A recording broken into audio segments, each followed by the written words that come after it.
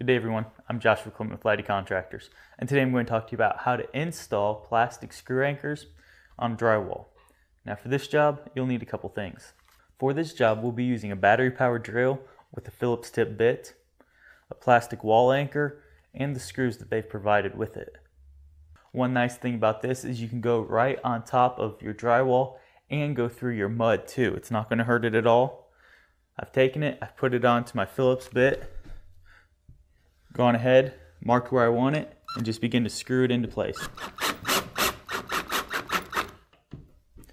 You want to take it down to where it's nice and flush with your drywall. After that, you just take the provided screw, put it right into the center of the anchor, and screw it into place. You also want to check to see how much weight each one of these anchors actually holds. This one right here is rated for 35 pounds. I'm Joshua Clement with Lighty Contractors. Thank you so much for watching and good luck with this project.